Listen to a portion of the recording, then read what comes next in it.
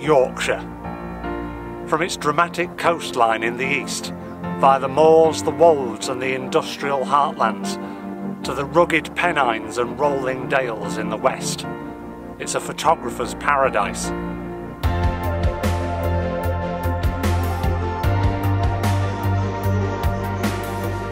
Thousands of people flock to this part of the world every year in search of photogenic gems. But in a time where there's more photographs taken every three days than in the whole pre-digital era, it's getting more and more difficult to get that unique shot. My name is Tom, but most people know me as the flat-capped photographer.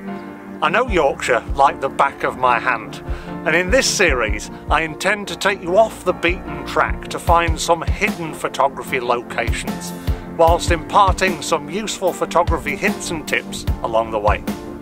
In the first two episodes I'll be exploring the Yorkshire Dales, travelling from the northernmost corner of the National Park to the southernmost in search of 10 hidden Yorkshire waterfalls. Along the way, I'll cover rugged moorland, discover some amazing wooded glens, and hopefully come back with some really unique photographs to share with you.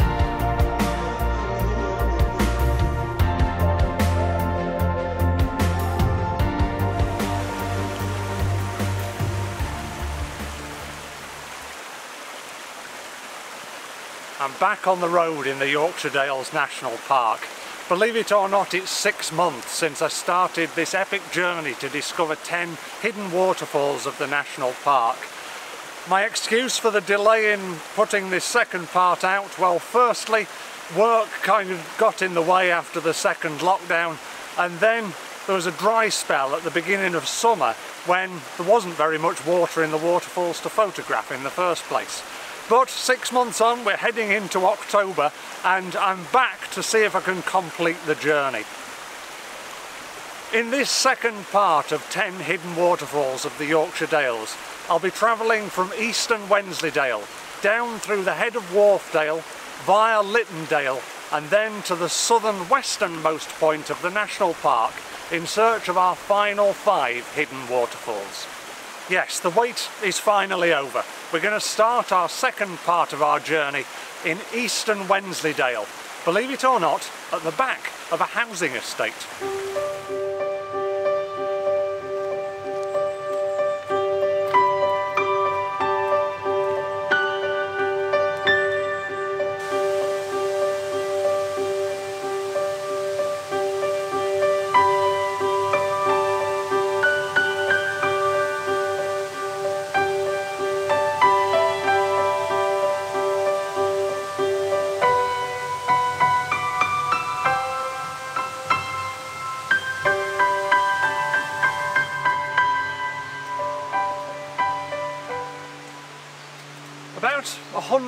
Ahead of me is the main road through Wensleydale. The town of Leyburn is only a mile in that direction and to get to this place I'm actually parked at the top of a housing estate. You may argue then that number six on our list isn't necessarily a hidden waterfall. And if you live in Leyburn, the surrounding towns and villages, then you'd probably say that it isn't hidden. Everybody knows about it, surely. But it's amazing how many people don't know about this place. Let's go and have a look at Harmby Waterfall.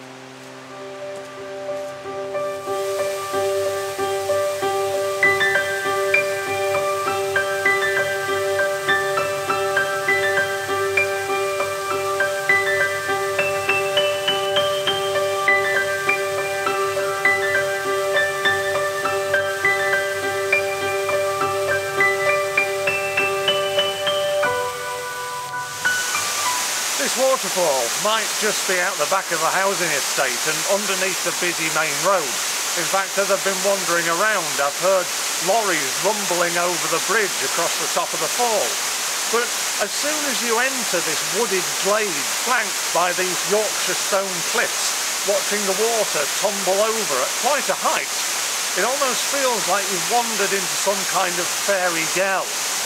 And I think it's really important that when we make photographs of anything, not just waterfalls, that we try and get an element of that mood and atmosphere in our photographs. The way that I've been doing that here is I've been slowing my shutter speed down to create that creamy water effect that adds a dreamlike quality to the photographs. You can also think of opening your aperture as wide as it will go to utilise that shallow depth of field.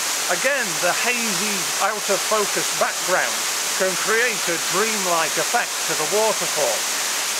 So next time you're in a waterfall location, don't necessarily think that the settings for waterfalls are the set sort of f11, f8, uh, then a shutter speed where you can either smooth it out or speed it up are the only way to go when it comes to waterfall photography because when it comes to that essential element of creating mood in your photograph then it pays to play around. As the great photographer Don McCullin once said, if you don't feel anything when you're taking a photograph then you're not going to get anybody to feel anything when they look at it. I'm going to share some of my photographs from this waterfall here before we move on to our next one but maybe just a few shots more before I move on.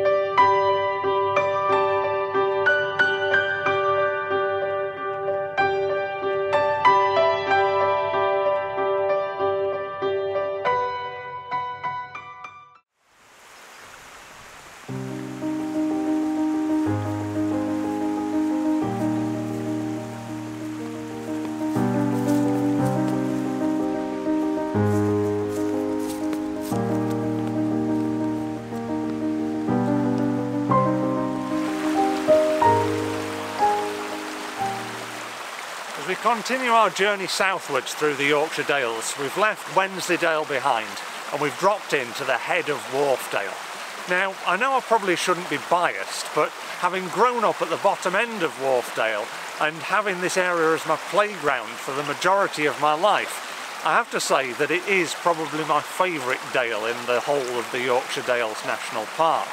And the waterfalls, and I say waterfalls because we're visiting four for the price of one at this location are arguably one of my favourite locations within the whole Dale. So I'm bigging them up here, so hopefully you'll see how beautiful they are and come and pay a visit here yourself. Now, there isn't an actual name for the falls that we're visiting now. They are marked on the OS map as waterfalls, but they are not named. The higher falls a bit further up the valley, above the little village or hamlet of Cray, are known as Cray Gill Falls, but being a bit more well known, being at the side of the road and opposite the pub, that's the reason that I'm not featuring those specific ones on this video. But if you are in the area, I would encourage you to go and visit them. And this isn't a plug for the pub, I'm not being sponsored by them, but it is a really nice pub to pop into to warm up by a nice cosy log fire on a cold day or enjoy the sunny climes of a summer's day on the picnic benches outside. You get fantastic views down Wharfedale. But anyway, I digress. For the benefit of this video, I'm going to be calling these falls Lower Cray Gill Falls. As I say, there's four of them, and they are just absolutely stunning. I feel like I'm walking into paradise every time I come here as the falls just neatly trickle over the limestone around them. So let's stop talking now, you're probably sick of my voice at this point, and let's get into the nitty gritty and explore this magnificent part of Upper Wharfedale.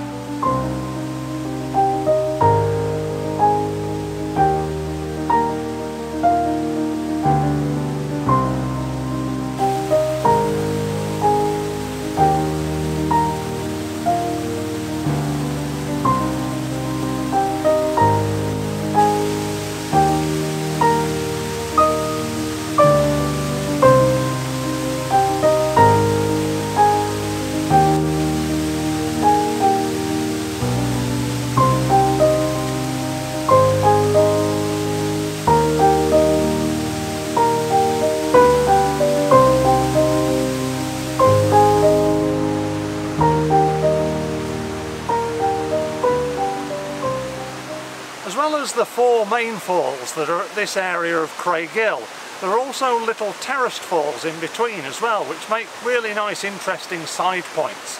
I'm really lucky with the light today, it's just illuminating them beautifully. So what I'm trying to do is create quite a bit of contrast between light and dark to allow the dappled light through the leaves of the trees to fall on parts of the landscape and the rest is cast into shadow.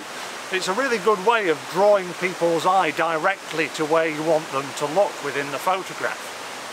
If you're not lucky with the light when you go and photograph a waterfall and you come to an area like this that's like stepping into a paradise world, there are other techniques that you can use to create that feeling as well within your photographs. You could include some out of focus foliage in the foreground or something out of focus that just makes it feel like you or the viewer is hiding behind something, looking in on this majestic, secretive world. Be careful if you do that though, because sometimes if you don't choose the right foliage, it can draw your eye away from the main focal point instead of enhancing the feel of the photograph. So be careful with that, but when it comes to waterfalls, it's often the waterfall that stands out more than anything else anyway. Now I must admit I'm really tempted to nip into the White Lion at Cray for a pint or two, but I know that we've got a few more waterfalls to cover, so I'm going to go and have a look at the last one here at Cray Gill before heading on to our next location.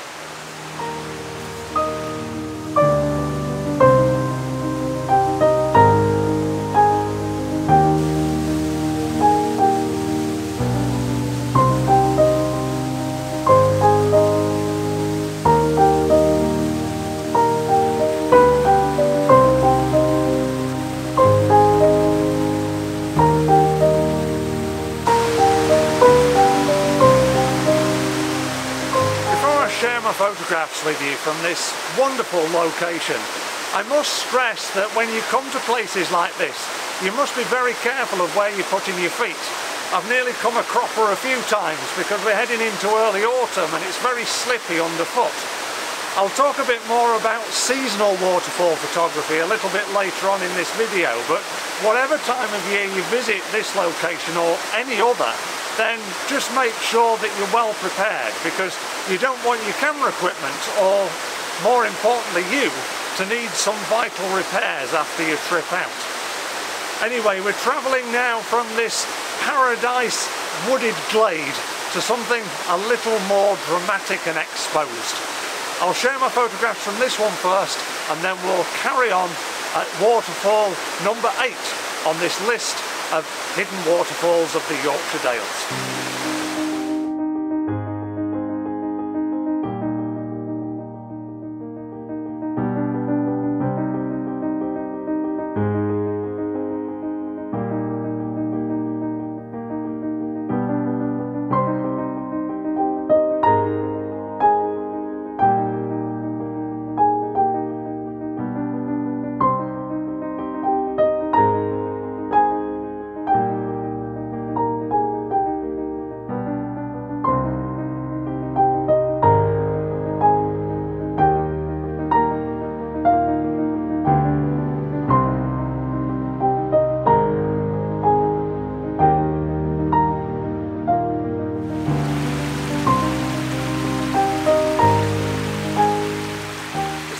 Goes on and we continue this journey to discover these hidden waterfalls, the weather just keeps getting better and better and better. It's absolutely fantastic.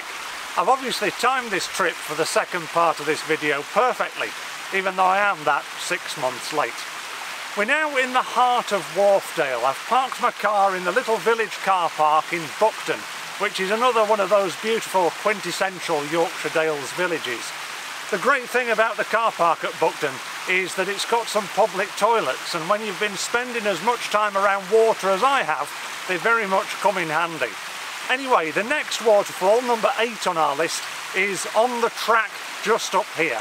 It's known as Buckden Gill Force and I know that there's a couple of falls around this area. One which is framed nicely by a tree and another dramatic one at the head of the valley. So let's carry on up the path and see what we can find.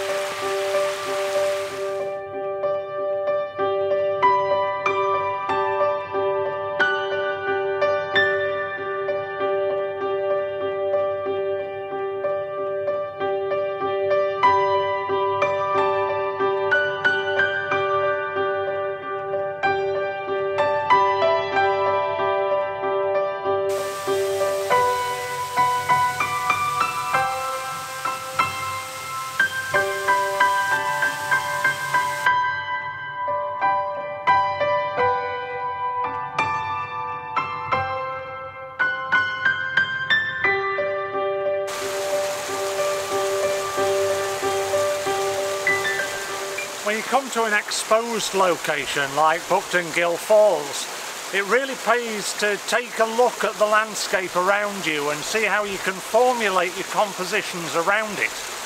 We were talking about feeling and mood earlier on, and in a location like this, it's always good to get that very exposed feel to your photographs. So as I've been wandering around up and down this beautiful little valley, I've been looking at how I can use the formulation of the lines of the landscape to meet at the dramatic points, the waterfalls, the trees in the, the coves.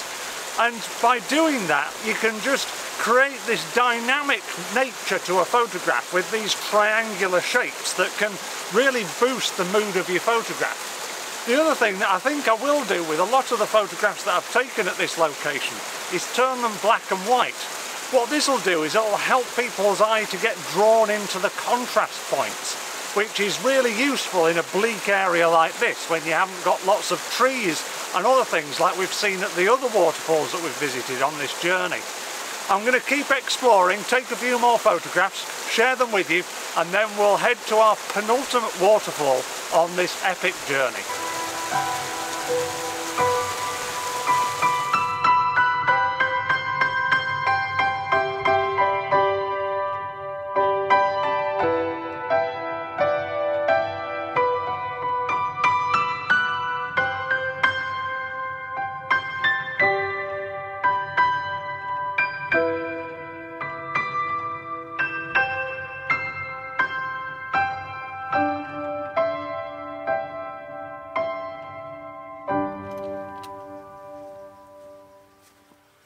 You can see, as I'm heading up towards waterfall number nine on our list, I've shed a layer and the paragliders are circling above us and it really feels like summer. It's hard to believe that as I'm recording this it's actually early October.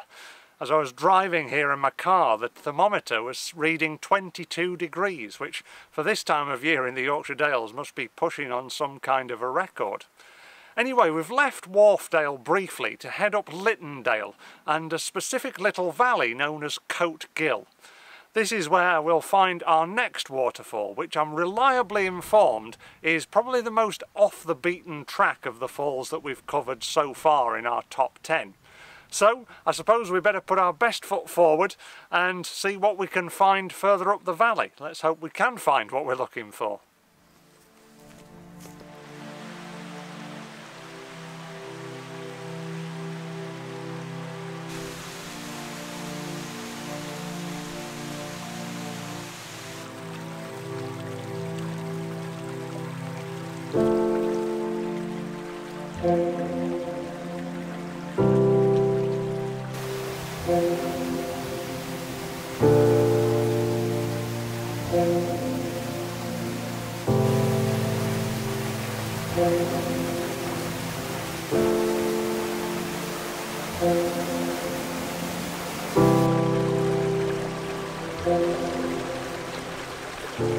I must admit, when I first arrived at this location, I thought, oh dear, there's not much water here.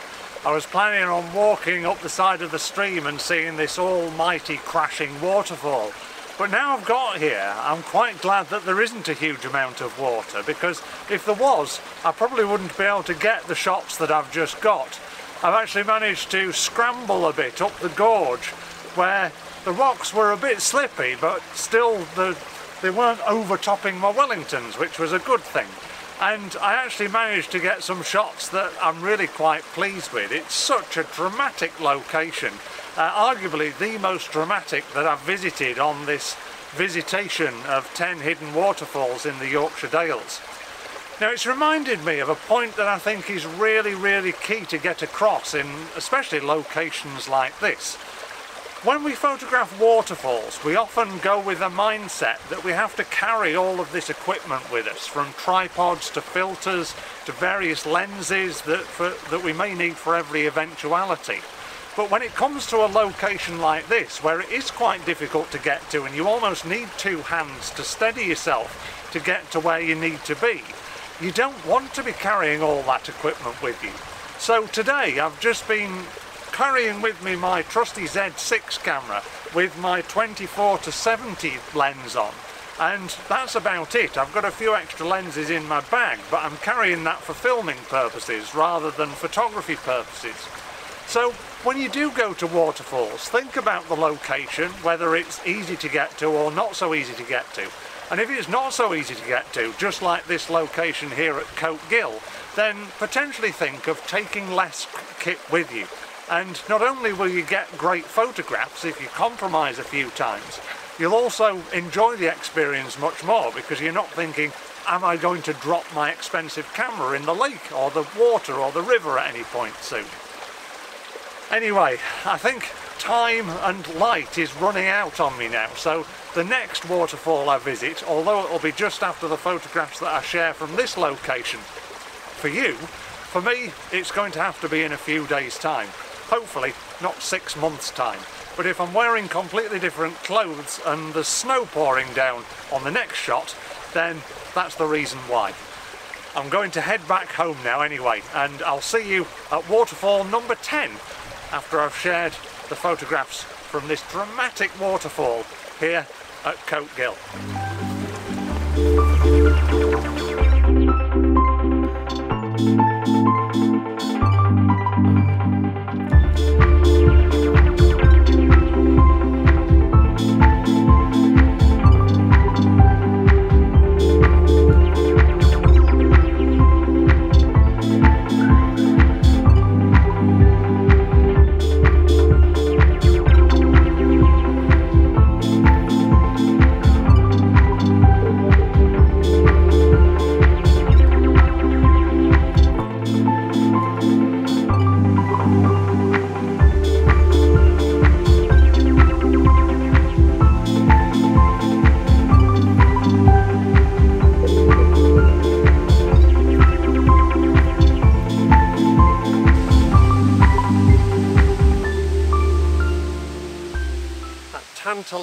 Sound of running water. It's one that I've got very used to on this journey and unfortunately our journey is nearly at an end.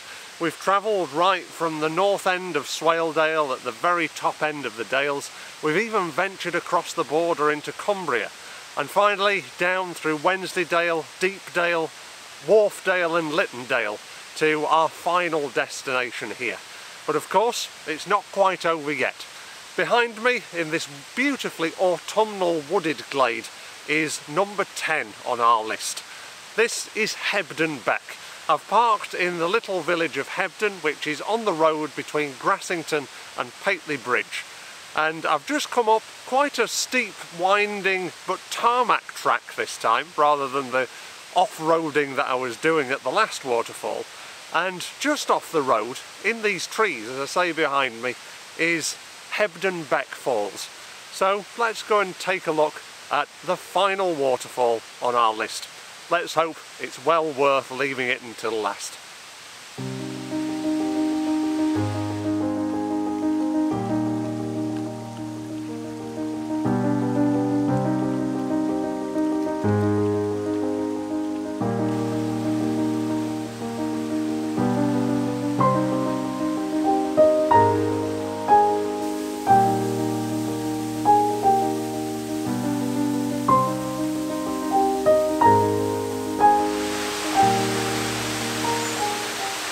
Returned from my adventure up Hebden Beck.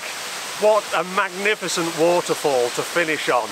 It really is spectacular. The size and scale of it, the width especially, is magnificent to see. It really is. And I may have got a bit wet and a bit muddy, but I don't care because hopefully I've got some lovely shots that I will share with you in the not too distant future. But before I do, I just want to pick up on a point that I was making earlier on in this video about choice of the time of year when you come to photograph waterfalls. Now this isn't an excuse for this video coming out six months later than the first, but I do find that spring and autumn, those seasons of change, tend to be my favourite seasons to come and photograph these magnificent landscape features. Because in the winter time there's often too much water in the fall, which means that you don't get the definition in the water that I've been trying to achieve at this one here. You've also got very monochrome and very monotone branches and rocks that just sort of overcomplicate the scene. even if you turn your photograph black and white, it tends to just make everything merge together and draw your eye away from what you should be looking at, the waterfall. And of course in the summertime, branches have their own problem as well with the leaves that grow on them. You'll often find, especially in a waterfall like this one at Hebden Beck, where it's crowded with trees, some of which have fallen into the water itself you can't get the shot that you want because it's just obscured by all the leaf cover. So that's why in spring and autumn, where there's not as many leaves and probably just the right, right amount of water falling over the falls, that you tend to get really, really nice effective shots. Anyway, we've now come to the end of this epic journey through the Yorkshire Dales, photographing these 10 hidden waterfalls. I'll run through them again at the end of the video and show you my top 10 photographs from each of them just to recap your memory of the ones that we've discovered and you could come and check them out yourselves. Please make sure if you do come to hidden locations like that, this, that you do respect them. Remember that old adage of leave only footprints and take only photographs because we'd like these places in the Yorkshire Dales to remain hidden as much as we possibly can for everybody to enjoy. I wouldn't like to lose that feeling of joy as I've crested hills, rounded paths and gone over rocks and seen these wonderful sights in front of me. So if you do come to these places, then please, as I say, remember to respect them. If you have enjoyed watching this video, then please stay tuned for the next video in this Hidden Yorkshire series. I promise it won't be six months after this one. I'll try and get it in over the winter at some point. And in the meantime, please check out our other series on Yorkshire Photo Walk's YouTube channel, including the basics of photography and thinking photographically. If you'd like to learn about photography in unique and inspirational locations like the ones that we've visited here, then check out YorkshirePhotoWalks.com, where I take people in small groups to do exactly that. You can also follow Yorkshire Photo Walks on Instagram and Facebook, that's at Photo Walks Yorks. I'll share with you all of the photographs that I've taken at this fall, plus a recap of the 10 in a moment. Um, but before I go, I'd just like to reiterate once again, thank you ever so much for watching and waiting those six months for this video. I do hope it's been worth it. But until next time, enjoy photographing the waterfalls of the Yorkshire Dales. I'll see you again soon. Goodbye.